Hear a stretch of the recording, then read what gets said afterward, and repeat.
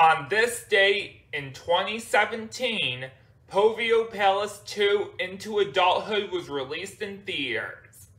Happy 5th anniversary. Note, this movie is fan-made by me.